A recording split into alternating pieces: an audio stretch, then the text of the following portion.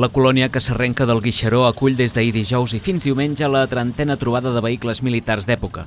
L'organització, un grup d'apassionats del motor i els clàssics que es troben de manera habitual amb els seus vehicles, celebra en aquesta ocasió els 30 anys de vida de l'esdeveniment, consolidat a la comarca i conegut arreu del país.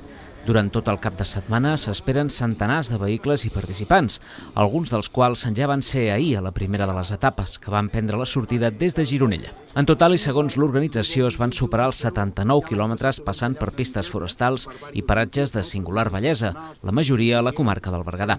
La del Guixeró és la trobada d'aquest tipus de vehicles més importants de Catalunya i una de les més antigues que es celebren. Hi participen vehicles provinents majoritàriament del país, però amb una nodrida representació fora muralla Miralles, amb gent vinguda d'altres punts dels països catalans com Mallorca, Eivissa, Euskal Herria i fins d'Espanya i França. Els dies forts de la trobada són els caps de setmana. Demà dissabte, a dos quarts de deu del matí, es farà l'esmorzar típic al Guixeró i després s'iniciarà la cinquena etapa de 65 quilòmetres. Al migdia, els aventurers arribaran a Sant Corneli, on faran el dinar de germanor. Diumenge, a les 10 del matí, continuarà la festa amb un nou esmorzar i a les 11 la sortida de la setena i última etapa de tancament que es farà per zones properes i que comptarà amb 25 quilòmetres.